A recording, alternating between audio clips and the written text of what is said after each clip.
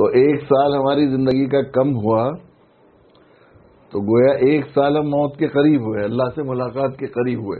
अगर यकीन यकीन हम आशिक हकीकी हैं तो हमें इस पस मंजर में किसी से मिलने के लिए जा रहे हों तो फासला जितना मील कम होते चले जाएँगे, उतना ज़्यादा खुशी होती चली जाएगी। लेकिन जिस पस मंजर में हम लोग ये मनाते हैं, उस पस मंजर में मुबारकबाद दी जाती है साल की हिजरी अपने अपने सालों की मुबारकबाद दी जाती है।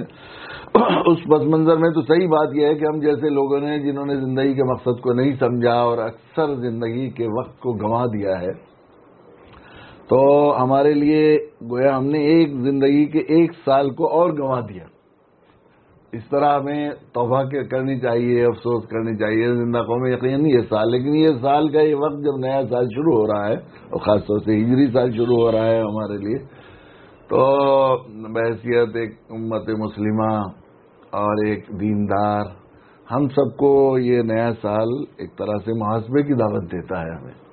इसलिए कि हमें बताया गया है, हमारे नबी जनाब रसूलुल्लाह सल्लल्लाहु अलैहि वसल्लम ने ये बात इजाज़ फरमाई है कि आदमी को कदम हिलाने की इजाज़त नहीं दी जाएगी, मैदान महशर में सबको जाना है। मालिक योमुद्दीन मालिक योमुद्दीन की रट लगवाई जाती है हर रकत। पाँच वक्त की नमाज़ फ़र्ज़ है और हर नमाज़ की हर रकत में रट लगवाई जाती है। मालिक योमुद्दीन मालिक योमुद्दीन, बदले का दिन है, बदले का दिन है। यानी हिसाब किताब के दिन से गुजरना है। और हिसाब किताब के दिन अल्लाह के नबी सल्लल्लाहु अलैहि वसल्लम ने इशाद फरमाया कि आदमी को कदम हिलाने की इजाज़त नहीं दी जाएगी जब तक कि चार सवालों के जवाब न दे दे और एक सवाल के दो जुज होंगे कोई पाँच सवालों के जवाब दिए बगैर कदम हिलाने की इजाज़त दी जाएगी उसमें सबसे पहला अव्वलीन सवाल, मिन उम्र ही माफना उम्र की इन घड़ियों के बारे में सवाल होगा। यकीन ये घड़ियाँ जो हमने ज़िंदगी गुजारी, एक साल कितनी घड़ियाँ बैठती हैं?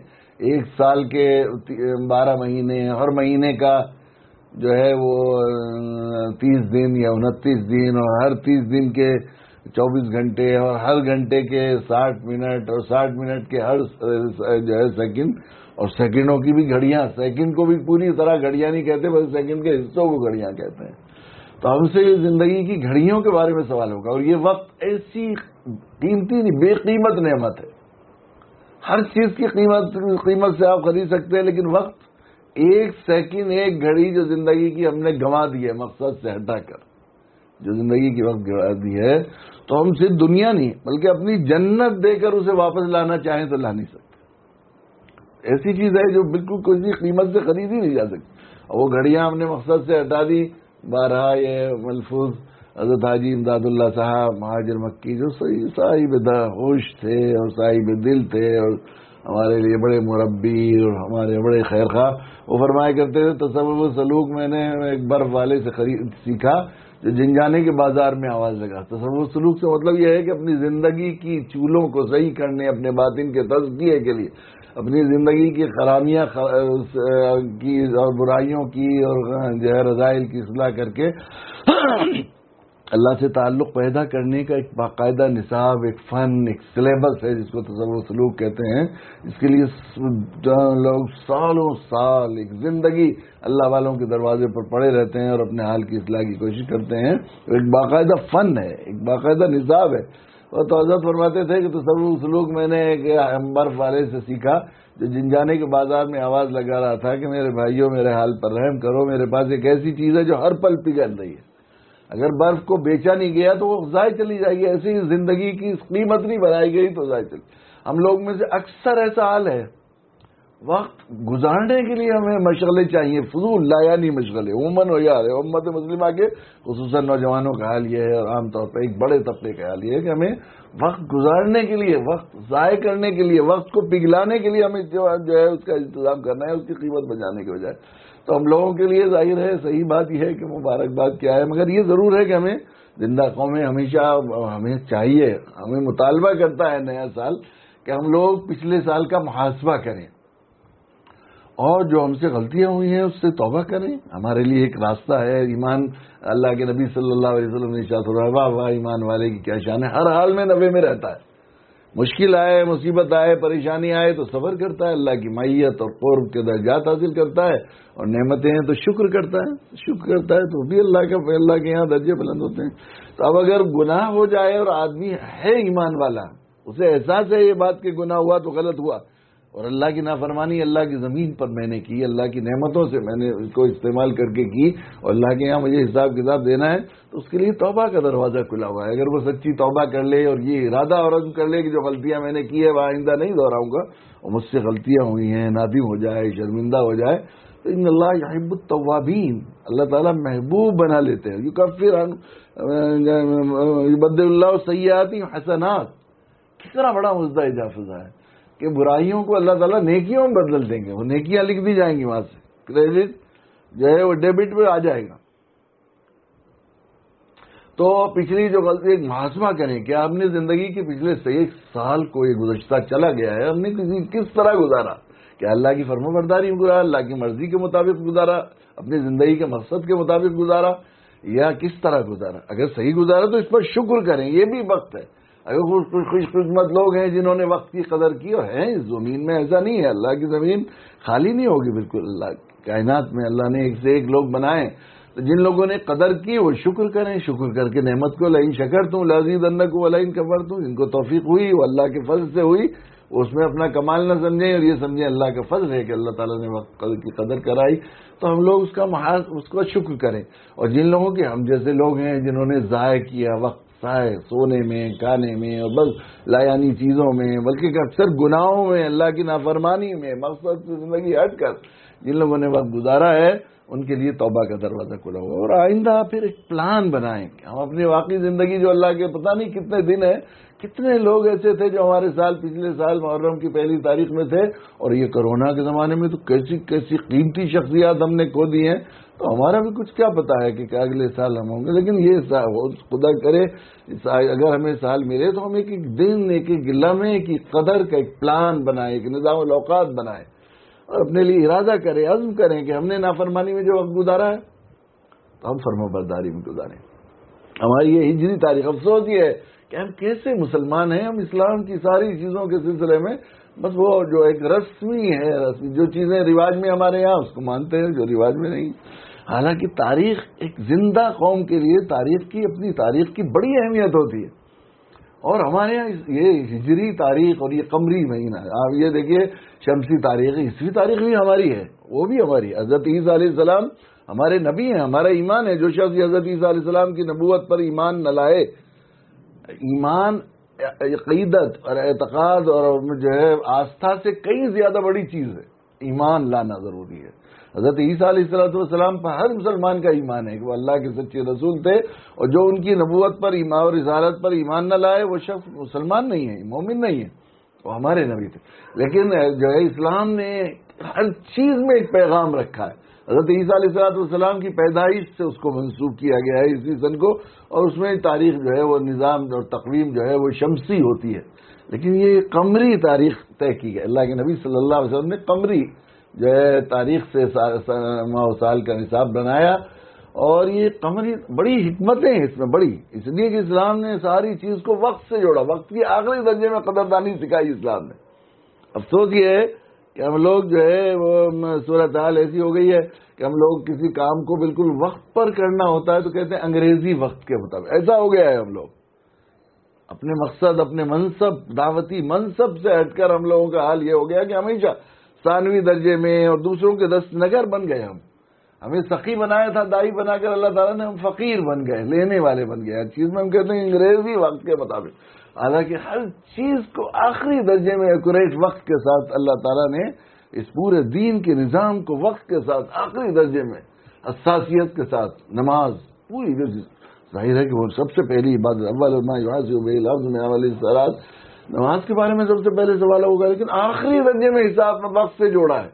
एक मिनट पहले पढ़ लेंगे, वक्त होने से पहले अदा नहीं होगी। एक मिनट बाद पढ़ेंगे तो खजा के गुनागार हो जाएँगे। रोजा आखिरी दर्जे में वक्त के साथ। एक मिनट बाद तक अगर शहरी खाते रहेंगे तो रोजा नहीं होगा। एक मिनट पहले अवतार कर लेंगे तो साठ रोज़े कफारे के और एक रोजा कजा रखना पड़ेगा।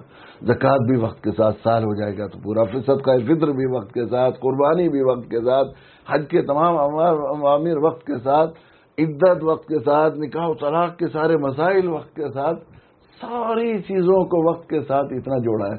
और हम किसी काम को एक्यूरेट वक्त पर करते हैं, बिल्कुल सही वक्त पर करना होता है तो हम कहते हैं अंग्रेज़ी वक्त के मुताबिक। ऐसी वक्त की ना कदरी है, इसलिए हमें अपनी तारीख की भी कदर नहीं। हमें तारीख की भी मालूम ही नहीं है। सूरत हाल ये कि हम लोग अपनी तहजीब तमद्दुन से ऐसा हाल हो गया बड़े बड़े दीनदार और दीनी जो है, क्यादत रखने वाली शख्सियात के सिलसिले में होता है, उनसे पूछते हैं, भाई, आज क्या तारीख है? तो वो शमसी तारीख ही बताते हैं, जिसका रिवाज है, जो आमतौर पर है, अपनी तारीख भी मालूम नहीं। महीने मालूम, अच्छे खासे दीनदार घरानों में आजकल नए बच्चे और नई नस्लें हैं, कि उनसे महीनों के नाम मालूम करो, कमरी, हिजरी महीनों के, वो बताने को तैयार नहीं हालाँकि इसमें कितनी खैर रखी है, खुद कमरी तारीख में। सारी इबादतों को वक्त के साथ किया गया है। अगर रमज़ान है, रोजा है, हज है दूसरी चीज़ें हैं, अगर वो शमसी तारीख के मुताबिक होती है तो कहीं किसी मौसम में गर्मी होती है। एक इलाके में एक वक्त गर्मी होती है और दिन बहुत बड़ा होता है, दूसरी तरफ़ सर्दी होती है और दिन बहुत छोटा होता है।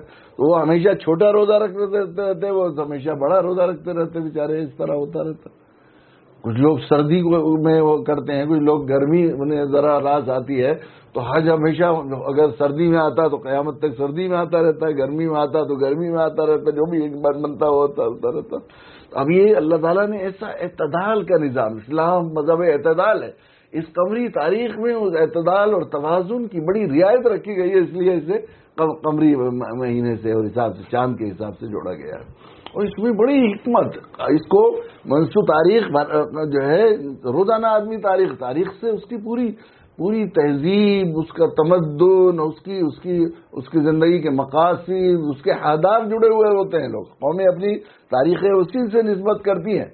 हमारी तारीख आप जानते हैं, हज़रत उमर रज़ी अल्लाह तला ने जिनके बारे में जो ये है कि बार बार वही ने उनकी आरई की तायद की।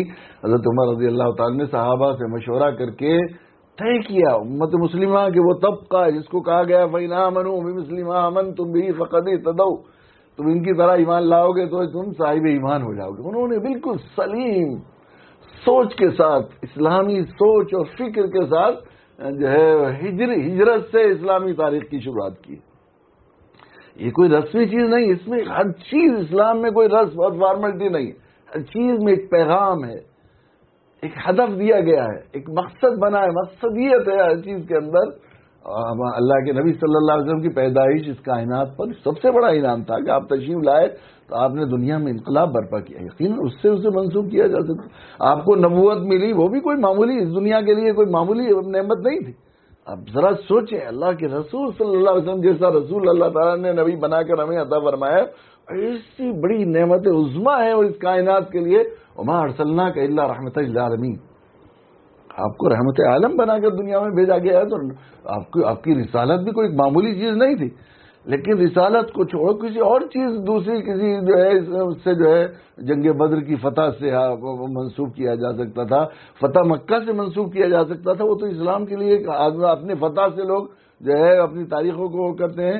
लेकिन जो है हज़रत उमर रज़ी अल्लाह ने साहबा कराम रज़ी अल्लाह से मशवरे के बाद हिजरत से उसको मनसूख किया। ये रोज़ाना सन्ने हिजरी की तारीख लिखते हैं हम, हिजरी तारीख।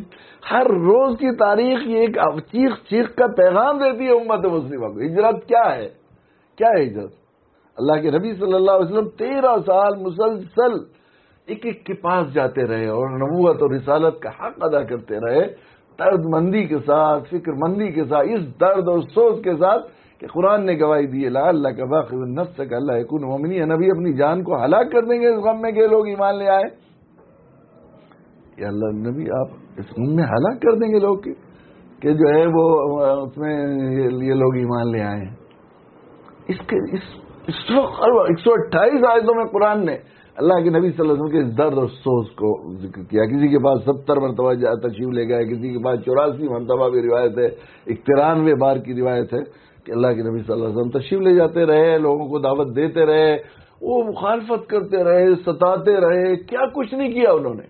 और आखिर में किस तरह इस्लाम की युरीदून अली नूर अल्लाह बेअफवाही वल्लाह नूरी वाला करियल क्या ये चाहते हैं कि इस्लाम की शमा को अपनी फूकों से गुल कर दे। प्रोज प्लान बनाते थे। मशवरे होते थे, प्रोग्राम बनते थे दारुल नदवा में। कैसे बना कमेटियाँ बनाई जाती थी कि बाहर के लोगों को कैसे रोका जाए, मकामी लोगों को कैसे रोका जाए कबीले के लोगों में कैसे इनसे नफरत पैदा की जाए। तो अलग अलग कमेटी है कभी किसी की अबू जैल की सरदारी में, कभी अबू लैब की सरदारी में, कभी किसी की सरदारी में, और सारे बदखाओं का सरखेल शैतान खुद, शेख नजदी की शक्ल में आकर उस पूरी मीटिंगों की क्यादत किया करता था। अब ये, चूँकि अरबों में एक कबाइली आबादी थी, कई मरतबा प्रोग्राम बनाए कि इनको हस्ती से मिटा दिया जाए। अल्लाह के नबी वसल्लम को दुनिया से कत्ल का और शहीद करने का प्रोग्राम बनाए। लेकिन ये ख्याल था कि अब फ़िलहाल तो सब कह रहे हैं, लेकिन अगर किसी एक कबीले वाले ने अल्लाह के नबी सल्लल्लाहु अलैहि वसल्लम को शहीद कर दिया तो फिर वो कबीले का जोश और खूनी जोश उसमें आ जाएगा और कहीं ऐसा ना हो कि खाना जंगी हो जाए।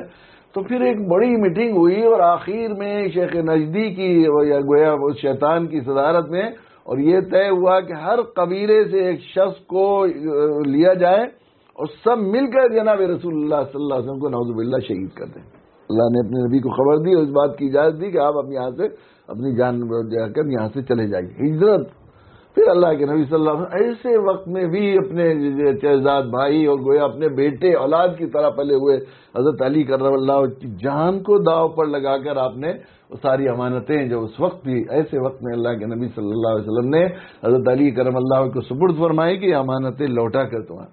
और आप निकल गए वहाँ से मक्का से कैसे दर्द के साथ आप निकल रहे हैं? मुड़ मुड़ कर देखते जाते हैं और रोते जाते हैं। मक्का तुझे, तुझसे मुझे कितनी मोहब्बत है? अगर, मगर तुझ में रहने वाले मुझे रहने नहीं देते। अगर ये रहने देते तो मैं ज़रूर यहाँ से नहीं जाता। मदीना मुनवरा उस वक्त लोग निकलने, मदीना मुनवरा यसरब था। मदीना मुनवरा ये मदीना तैयबा नहीं था। जिसको तैयबा और तैयबा कहते, मदीना तैयबा कहते हैं, वो यसरब था। वो बीमारियों का एक शहर था। लोगों में मशहूर था कि यहाँ डाइन चुड़ैल और तरह तरह की आफतें, मुसीबतें और बीमारियाँ, वबाएँ बीमारियाँ रोज आती, कभी चेचक आती, कभी प्लेग आता।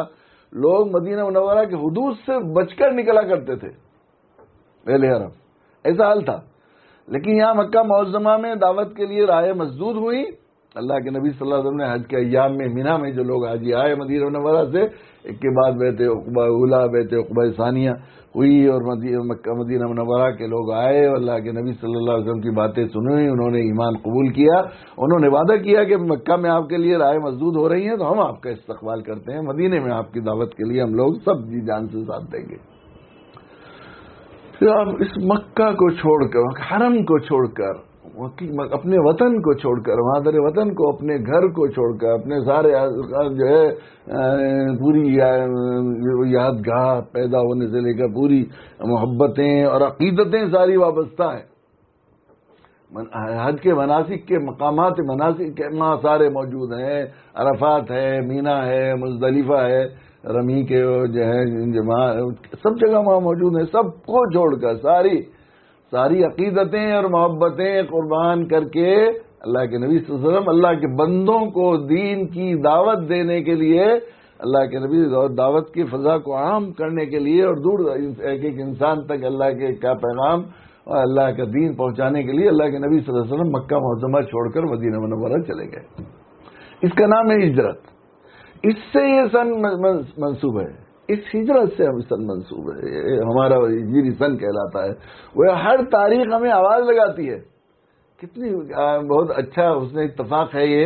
यकीन अल्लाह की तरफ़ से मैं समझता हूँ ये बड़ी कबूलियत की एक तरह से अलामत समझता हूँ मैं इस दावती कैंप को और उसमें जो लोग इस वक्त शरीक हैं इसमें कि आज इतफाक से उसने इतफाक से कल 18 तारीख में तकरीबन में तैयार होने, हो गया था कि प्रोग्राम को किया जाए, लेकिन वो जो है अचानक मुझे कोई उज्र पेश आ गया तो मैंने मुफ्ती मेहताब साहब से भी कहा और दूसरे फका से कि बेहतर यह है कि आप अगले रोज इसे जो है वो कर लें। तो ये अल्लाह की तरफ़ से मैं समझता हूँ ये बहुत बड़ा करम और एहसान है हमें इस पर अल्लाह की शुक्र अदा करना चाहिए कि आज हम साल ने हिजरी साल के शुरू में अपना एक दावती जो है इस एक, तरह से सफ़र के दूसरे इस, इस हदफ का और इस इस स्टेप का जो है हम आगाज़ कर रहे हैं यकीन तो ये हिजरत से शुरू होता है। मुसलमानों की हर हर दिन तारीख लिखेगा इंसान। तारीख लिखेगा तो तारीख हिजरी आवाज़ देती है कि मुसलमानों, ईमान वालों, नबी के दीवानों, नबी से मोहब्बत करने वालों रहमतुल्लालमीन नबी के परवानों, तुम्हारी तारीख, दावत के लिए सब कुछ हत्या के अपना वतन महबूब कुर्बान कर देने से शुरू होती है। ये पैगाम है इस पर। सब कुछ चला जाए, सब अल्लाह हरम हरम मुकदस में एक लाख गुना का सवाब था। मदीना मुनवरा में मस्जिद नबी ही नहीं थी।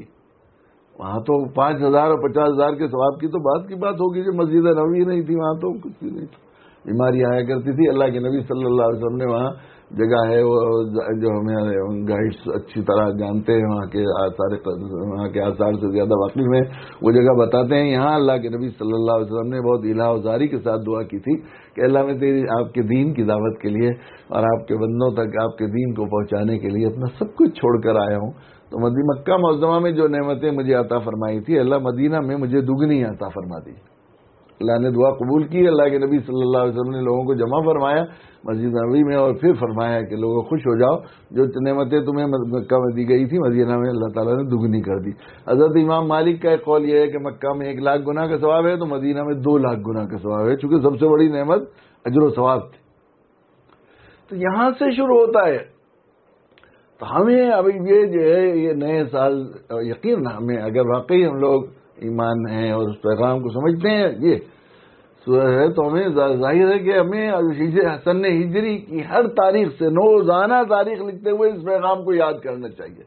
और फिर अपनी ज़िंदगी के खतूत को इसकी रोशनी में, अपनी तारीख की रोशनी में, तारीख साजी, सन हिजरी से, हिजरत से सन को मंसूब करके तारीख साज मुसलमानों ने कारनामा अंजाम दिया और दुनिया में फतुआत हासिल की।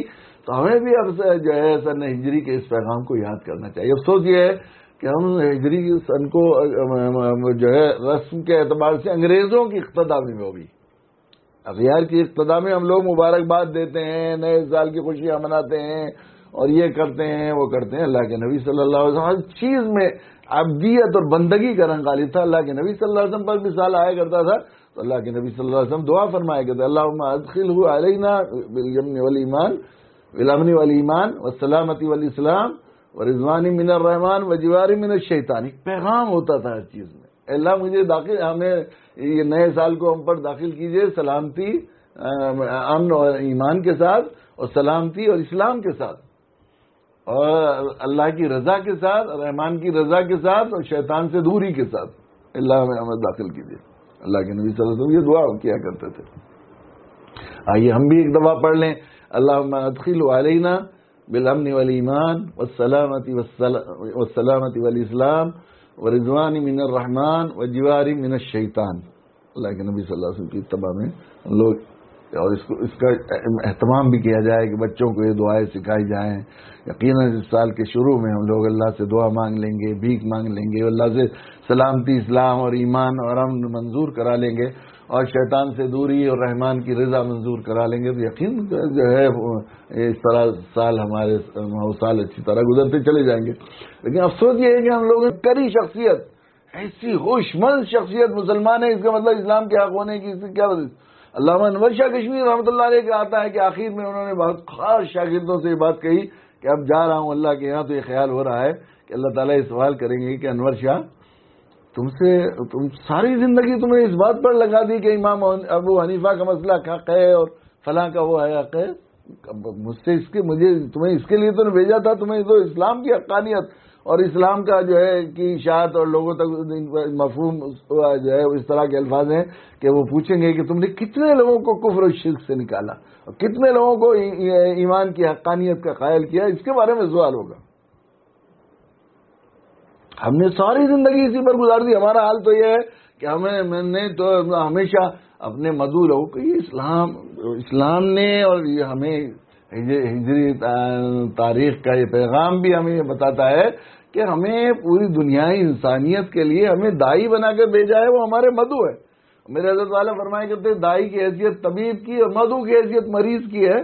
तो तबीब और मरीज़ का रिश्ता हमने हरीफ और फरीक बना लिया, हमने सारी ज़िंदगी कोई आदमी, अल्लाह के नबी सल्लल्लाहु अलैहि वसल्लम जिनको हमारे लिए उस हसना आइडियल बनाया था लकत कान को मैदान मैशर में जब हिसाब होगा, उम्र के सिलसिले में हिसाब होगा जवानी के सिलसिले में हिसाब होगा, माल खर्च करने, माल कमाने के सिलसिले में हिसाब होगा, अपने इल्म पर अमल करने के सिलसिले में हिसाब होगा तो क्या होगा? लकत कान अलकुम फ़ी रसूल, आइडियल, क्राइटेरिया जो बनाया गया है, वो जनाब रसूल सल्लल्लाहु अलैहि वसल्लम की ज़िंदगी।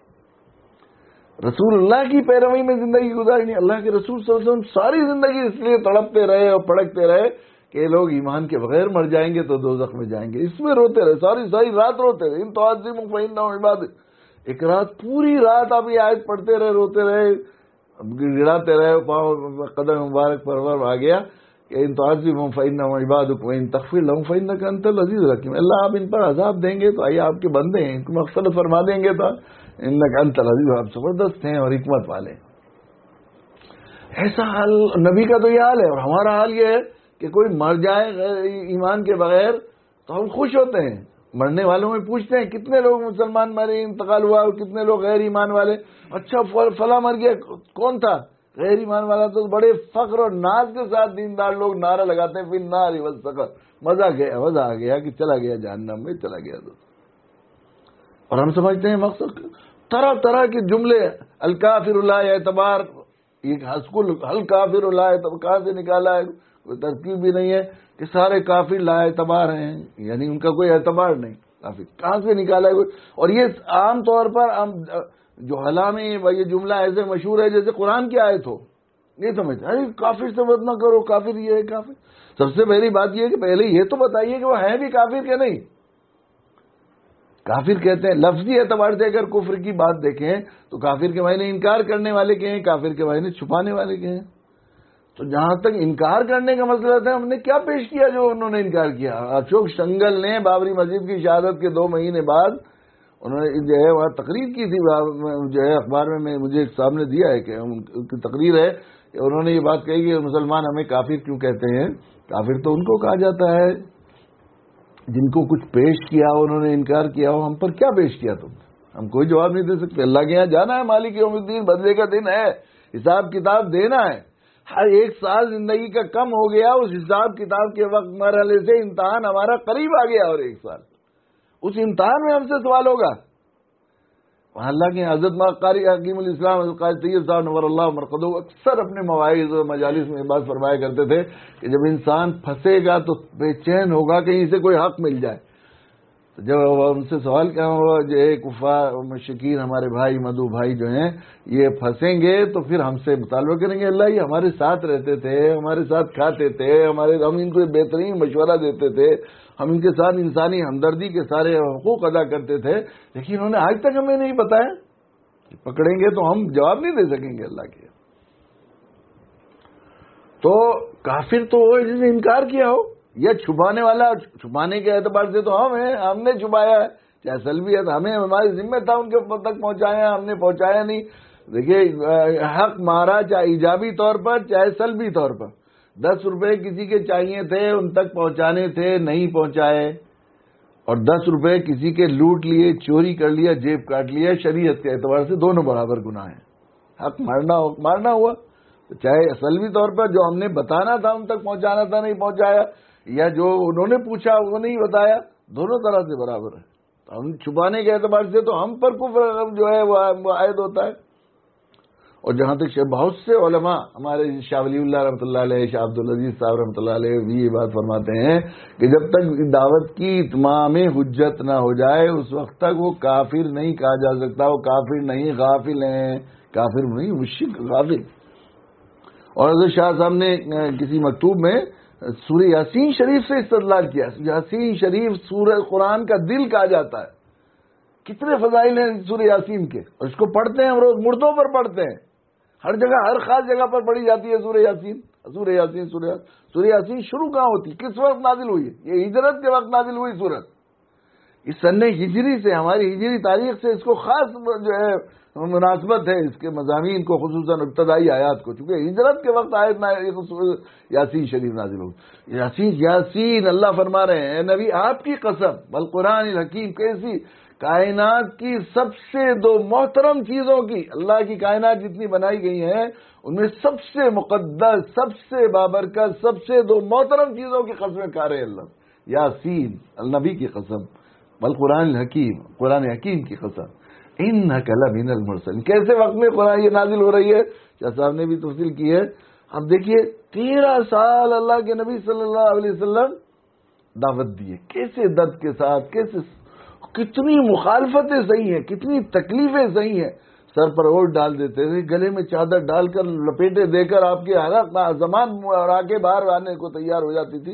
घसीटते थे और ताइफ के पत्थर खाए अल्लाह के नबी वसल्लम ने, कितना शाही तालीम में साढ़े तीन साल उसकी घाटी में गिरफ़्तार रहे प्यारे आका जनाब रसूल अपने तमाम जो है घर वालों के साथ बच्चे, एड़िया रगड़ रगड़ कर मर गए, शहीद हो गए। और पत्ते खाए और भूखे मरे, उस हाल में ऐसी तकलीफें बर्दाश्त की। उसके बाद भी जब आखिरी हद हो गई तो आप निकल के जाए। लेकिन जाने नहीं देना ऐसे ज़िंदा। आखिरी दर्जे का ताकुब मदीना मनवरा तक किया। पूरी तारीख गवाह हिजरत की। कैसे? अल्लाह के नबी वसल्लम इस ख्याल से कि हमें जाने नहीं देंगे तो आपने मदीना की तरफ़ को रास्ता इख्तियार करने के बजाय उधर को इख्तियार किया जो है गार सूर की तरफ़ को। वो बिल्कुल मदीना से बिल्कुल बरक है ताकि लोग उधर तलाश करें और हम लोग जाकर गार सूर में तीन रोज क्याम किया अल्लाह के नबी फिर भी पीछा किया। वहाँ भी पीछा किया। और आप जानते हैं सुराखा का पूरा वाकया उसके साथ होता है वहाँ पर। तो ऐसे में फिर ये हुआ कि भाई मैं किसी एक कबीले पर ना है, जैसे मैंने अभी अर्ज़ किया कि तय किया कि हर कबीले से एक एक आदमी तीर भाले तलवार और जो है तीर तबंग सब लेकर खड़े हो जाए। और जैसे ये घर से निकले तो फ़ौरन जो है, टुकड़े टुकड़े कर दिए जाए, खींचड़े खेल दिए जाए। ऐसा प्लान बनाया था। ऐसे वक्त में साजिश, मुखालफत, दुश्मनी किसी के मौजिन के साथ, एहसान फरामोशी का तारीख इंसानी में इससे कोई, पीक टाइम कोई और नहीं आए दिखाई दे सकता। ऐसी साजिश, ऐसी मुखालफत। ऐसे मोहसिन के साथ इस तरह प्लान बना बना कर सारे प्लानों को फेल देखकर आखिरी दर्जे में कामयाब प्लान बनाया उन्होंने मक्का मौजमा के, कि माशरत और समाज के लिहाज से बनाया था। सवे हस्ती से मिटाने का और मुखालफत। ऐसे वक्त में सूर्य यासीन नाजिल हो रही। तो आप फरमा, अल्लाह फरमा इन नकलमीन मुरसलीन। ए नबी, ये तो बेचारे कर रहे हैं, जो कुछ कर रहे हैं। मगर आप सोच लीजिए, आप इनके साथ हरीफ और फरीक नहीं है, मुखालिफ नहीं है। दुश्मनों का आप, आपस में एक दूसरे के साथ रकीब और एक दूसरे के साथ हरीफ होने का रिश्ता नहीं है। इन नकलफ इनल मुरसलीन बिलाशुबा तहकीक आप आप ही आपकी जात मुरसलीन में से। ने मुफसरी ने लिखा है कि आप रसूलों का मजमुआ है। इतने सारे रसूलों को दर्द और सोच दिया गया था और हमदर्दी दी गई थी, इंसानियत खैर खाई के लिए तड़प दी गई थी। और सारे इंसानों को इंसानियत की खैर खाई का जितना काम दिया गया था उससे कहीं ज़्यादा आप अकेले को दिया गया है कायनात के कयामत तक के तमाम इंसानों का खैर खा और रहमत आलमीन आपको बना के गए आप हरीफ और फरीक नहीं, आप तबीब हैं, मरीज़ हैं। अला सिरात मुस्तकीम, वो सिरात मुस्तकीम जिसकी हर वक्त, हर नमाज़ की की रकत में सूर्य फातिहा में हम रट लगवाते हैं इस दिन सिरात मुस्तकीम इस दिन अला सिरात मुस्तकीम, आप हैं सिरात मुस्तकीम पर। तंजीर अज़ीज़ रहीम जी, सिरात मुस्तकीम, जो जो वे ऑफ़ लाइफ और तर्ज ज़िंदगी, और तर्ज सोच जो है उस जो है जो सोच और जो फ़िक्र हमने आपको अता फरमाई है, वो वो आपकी अपनी नहीं है। तंजील अज़ीज़ रहीम, जो अज़ीज़ और बड़े ज़बरदस्त और रहमत भरे रब की तरफ़ से नाजिल की गई है। लेतुन जेरा कौम गाफिलू ताकि आप डराएँ उन लोगों को जिनके बाप दादों को भी किसी ने नहीं डराया। अभी तो ये बेचारे इतने नासमझ हैं कि बाप दादों से किसी को पता नहीं है ये बात के इस्लामी हक। वह गाफिलून वह काफिरून नहीं फरमाया वह मुशिकून नहीं फरमाया वह जालिमून नहीं फरमाया, वहम गाफिलून। शाह साहब कहते हैं कि यहाँ जब ये कह रहे हैं, अल्लाह ताला वो गाफिल है, हम गवाही दे रहे हैं कि वो गाफिल है। अभी आप इनको समझा नहीं सके। जिसको हमने एक दफ़ा नहीं पहुँचाया जिसको पता ही नहीं, अजान के माना नहीं समझाया हमने। नौ सौ एक हज़ार साल से ज़्यादा हम साथ में रह रहे हैं। और रब हाजिर दावती तामा की सदा लगाते रोज पढ़ते हैं हम दुआ। ये, सूरत हाल ये है कि हमारा हाल ये है कि हम दम तो ये है कि हम हालाँकि ये दावत ताम थी, मुकम्मल दावत थी। पूरी दुनिया इंसानी सिर्फ़ मुसलमानों के लिए आवाज़ नहीं लगाई जाती। ऊँची से ऊँची जगह, मस्जिद से बाहर मस्जिद से बाहर अजान कहना ज़रूरी है कही जाती है, कैसी? और लिखा हुआ है हज़रत माना तारी ज़मीन साहब ने नकल किया है, वो हज़रत जी, हज़रत माना इनामुल हसन साहब का वो जो है एक वाकया कि वो हज़रत माना मुफ्ती, वो जो है बोला सईद मक्की साहब, वो कहा करते थे, भाई तबलीग तो जो है, वहाँ मस्जिद से बाहर है और तालीम मस्जिद के अंदर है तबलीग मस्जिद से बाहर, यानी सारी दुनिया इंसानियत को। तालीम जो आ गए अंदर, उन्हें तालीम दी जाएगी। तबलीग दावत का ट्रेनिंग भी दी जाएगी उनको, और इस्लाम भी सिखाया जाएगा। और इस्लाम क्या है? इस्लाम है ही असल चीज़, दावत की जो है उलू की आवाज़ लगाना और सदा सिखाना, यही है इस्लाम। तो वो फरमाने लगे कि वो जो है, समझ में आ गया। मौलाना सईद, आप सही कहते हैं। वो तशीफ लाए, बिल्कुल मुख्तसर अंदाज। आपस में वो चल रहा था। कि भाई बाहर, मस्जिद में बाहर बात की जाए या मस्जिद के अंदर बात की जाए, इस पर ओलमा को हो रहा था कि मौलवी सईद आपकी बात समझ में आ गई, तालीम मस्जिद के अंदर है, तबलीग मस्जिद के बाहर है, अजान दावत है, और अजान को मस्जिद के अंदर कहना मकरू है। बस ये कह के वो कर दिया उन्होंने। पूरा समझा दिया पूरे मसले को वाजे कर दिया। रब हाजिर दावती तामा है, सबको बुलाया जाता है, लेकिन हमारी सूरत ये है कि किसी इस्लाम कबूल किए जिसने कलमा पढ़ लिया है, उसको मस्जिद में लाते हैं अक्सर नमाजी उसे घूर घूर कर देखते हैं और लाने वाले पर भी तरह तरह के तारे कैसे जाते हैं। मियाँ, अभी उधर नहाया नहीं गंदा है नापाक को लिया है, मस्जिद का एहतराम नहीं समझा, ये नहीं किया वो किया। और अब्बा हाजी दावती तामा है वो। दावत तामा है।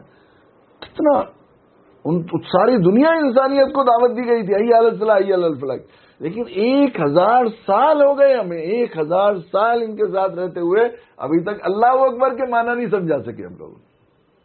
सही बात यह है कि अल्लाह अकबर के माने नहीं समझा सके हम। अभी ज़्यादातर हमारे यहाँ एक अरब से जायद बिरादरान वतन है, इनसे इनमें से बुला लीजिए और तहकीक कीजिए। तो अब मैक्सिमम ये समझते हैं कि ये दुआ मांगते हैं कि अल्लाह अकबर जैसा मुसलमान बादशाह फिर हो, यानी इस्लामी राज हो फिर।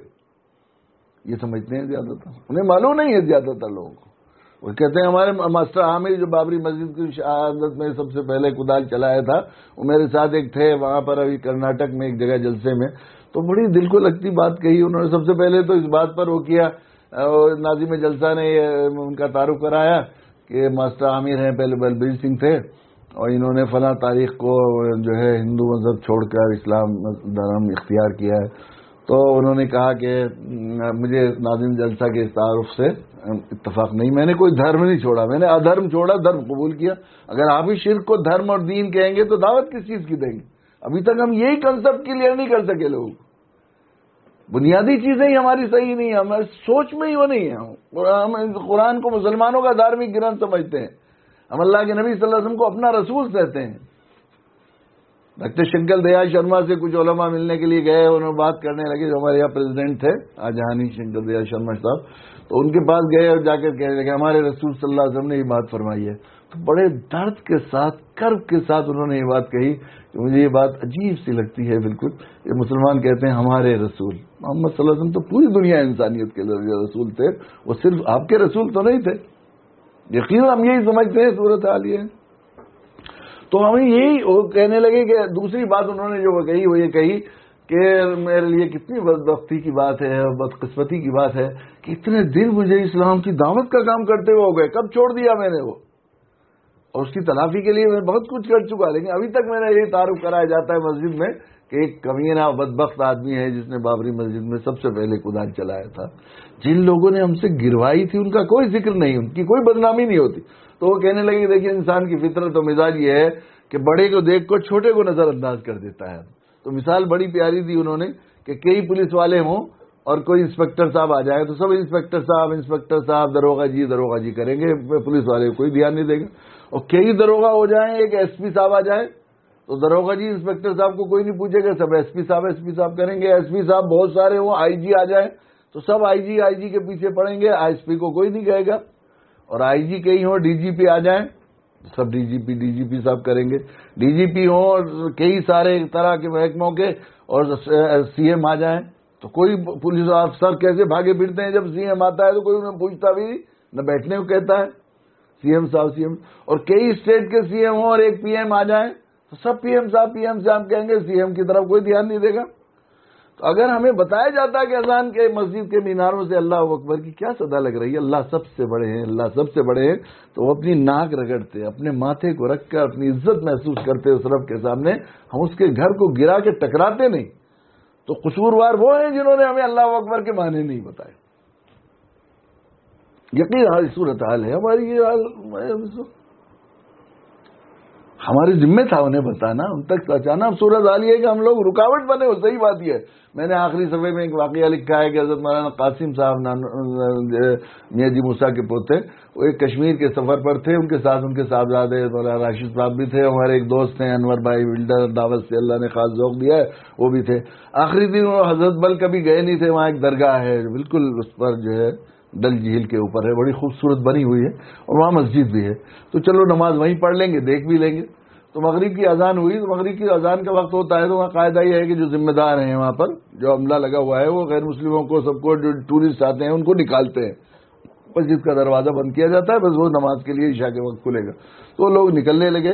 तो एक वफ्द आया हुआ था गोवा से 21 बाईस लोग खानदानी थे, के लोग थे, वैष्णो देवी और अमरनाथ यात्रा करके आए थे। अमरनाथ और वैष्णो देवी जो मालदार लोग हैं, वो तो हेलीकॉप्टर वगैरह चले जाते हैं, जो खच्चर पर पैदल जाते हैं तो लोग वेट लूज करने के लिए वहाँ जाते हैं। दो चार किलो पाँच सात किलो इतना मुजाहिदे का सफ़र है तो आ जाते हैं। तो आखिर में वो कश्मीर की वैली में घूमने के लिए भी चले जाते हैं मौसम ऐसा होता है तो वहाँ आ गए।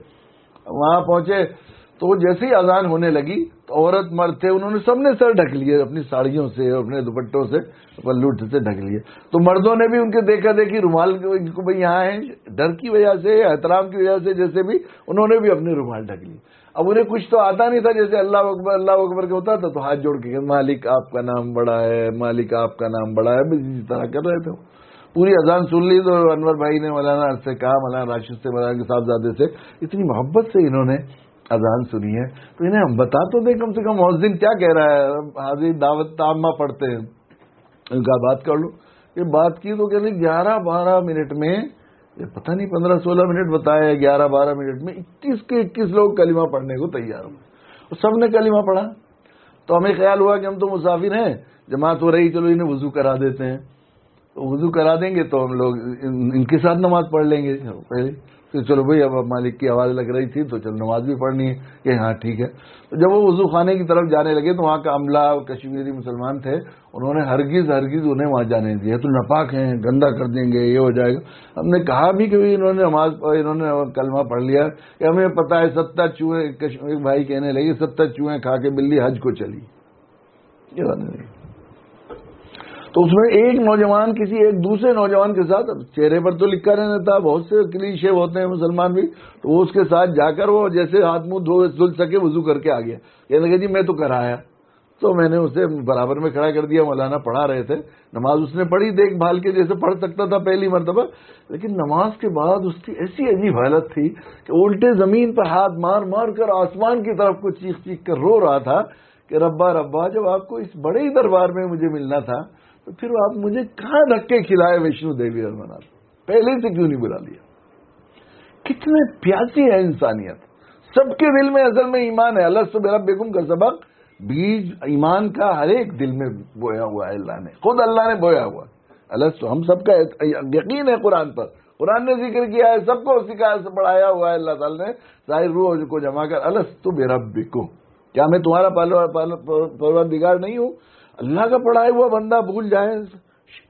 है शूरी तौर पर हर एक के दिल और दिमाग में और रूह के अंदर जो है वह जो है बातिन में इंसान की वह इसका शूर है कि वो एक रब है जिसकी पूजा होनी चाहिए, वही पूजा के लायक है। कालू बला, सबने कहा कालू बला।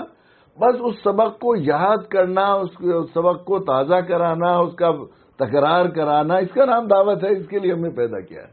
और उसके साथ हमारी तारीख वाबस्ता है। हिजरी तारीख जो है, उसके लिए सब कुछ कुर्बान कर देना। और जब उसके लिए सब कुछ कुर्बान, आप जानते हैं, तारीख इस्लाम अल्लाह के नबी खैर कुरून की तारीख को पढ़ेंगे तो उससे पहले हर तरह की परेशानी और मुश्किलें हैं हिजरत से पहले।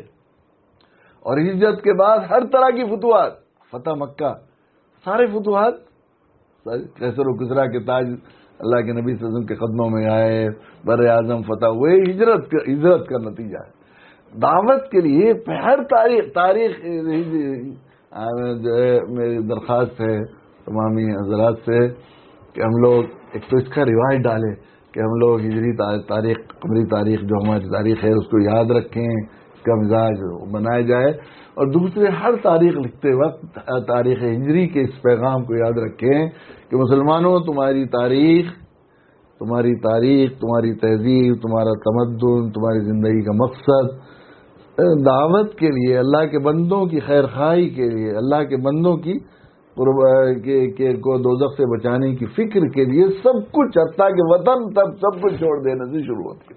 और उसके बाद अगर हम लोग हिजरत के लिए आमादा हो जाएँ अगर अपने आप को तैयार कर लें अफसोस ये है कि हम लोग से जो है कुर्बानी का मिजाज नहीं रहा। और ये ये जो है इस हिजरत जो है वो इशार भी सिखाती है। असल बात ये भी है हिजरत का पैगाम जो है वो इशार का है और इशार से इंसान की कदर मंजिलत और माशरे में, समाज में, इंसानी समाज और इंसानी मिजाज ऐसा बनाया कि इंसानी समाज में हर साहिब इशार की कदर मंजिलत और दिलों पर बादशाहत बैठती है। तो हिजरत से इशार का एक सबक दिया है, पैगाम दिया है कि दूसरे लोगों की खैर खाई और भलाई के लिए तुम्हें सब कुछ छोड़ना पड़े तो छोड़ दो और जब छोड़ोगे तो अल्लाह ताला सारी छूटी हुई नेमतें भी सारी तुम्हारी दे देंगे और कितने दूसरे जो लोग तुमसे छीन रहे हैं उन नेमतों को और तुम्हारे मुखालिफ और तुम्हारे दुश्मन हो रहे हैं, उनको भी उनके उनको उनको भी तुम्हारे आगे दस कर देंगे। अल्लाह ताला हमें तौफीक दे कि हम लोग हिजरत के इस पैगाम को समझें और रोज पिछले साल का मुहाजबा भी करें, हम अपने पिछले दिनों का मुहाजबा करें कि जो मकसद ज़िंदगी था कि हमने उस मकसद के तहत अपनी ज़िंदगी को गुजारा अगर नहीं गुजारा। तो पिछली ज़िंदगी पर हम तोबा करें इस्तफार करें, आइंदा प्लान बनाएँ खाका बनाएँ कि हम लोगों को जो मकसद ज़िंदगी है उसके लिए हम ज़िंदगी गुजारेंगे। यकीन बहुत मुबारकबाद के मुस्तक हैं वो शरका जो इस दावती कैम्प में शरीक हो रहे हैं, वो हजरात जिन्होंने इस कैंप का इनका का खसूस हमारे साथी, मुफ्ती मेहताज साहब, उनके रफुका और डॉक्टर जमशेद साहब वगैरह जो हैं, वो भी, और नांदेड़ के वो लोग भी, जिन्होंने वहाँ इलाके के उलमा को दावत की क़्यादत और दावत की सरदारी सौंपने हैं, उनको इसको अपने आगे, उनको सरपरस्ती के लिए जोड़ा है, यकीन वो भी बहुत मुबारकबाद के मुस्तक हैं। अल्लाह ताला हम सबको तोफ़ी नसीब फरमाए। मेरे लिए सादत की बात है कि कई रोज से मुसलसल मुझे बुखार खांसी और नज़ले वगैरह क्यों चल रही है। अभी भी आज सुबह को भी फिर एक दफ़ा बुखार हो गया था, दो तीन दिन पहले भी। मैंने वादा कर लिया था, अल्लाह से दुआ की, अल्लाह बेचारे लोगों से वादा किया है। अलहमदिल्ला मुझे भी इसमें शिरकत सादत मिली है।